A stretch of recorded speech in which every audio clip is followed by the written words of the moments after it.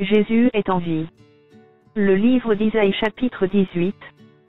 Terre, où retentit le cliquetis des armes, au-delà des fleuves de l'Éthiopie. Toi qui envoies sur mer des messagers, dans des navires de joncs voguant à la surface des eaux.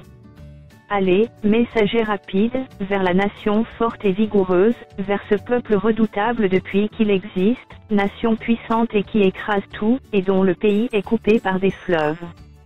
Vous tous, habitants du monde, habitants de la terre, voyez la bannière qui se dresse sur les montagnes, écoutez la trompette qui sonne.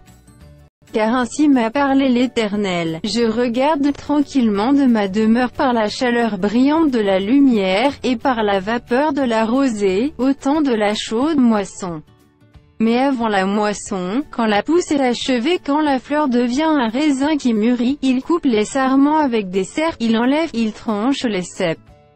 Ils seront tous abandonnés aux oiseaux de proie des montagnes et aux bêtes de la terre, les oiseaux de proie passeront l'été sur leurs cadavres, et les bêtes de la terre y passeront l'hiver. En ce temps-là, des offrandes seront apportées à l'Éternel des armées, par le peuple fort et vigoureux, par le peuple redoutable depuis qu'il existe, nation puissante et qui écrase tout, et dont le pays est coupé par des fleuves, elles seront apportées là où réside le nom de l'Éternel des armées, sur la montagne de Sion.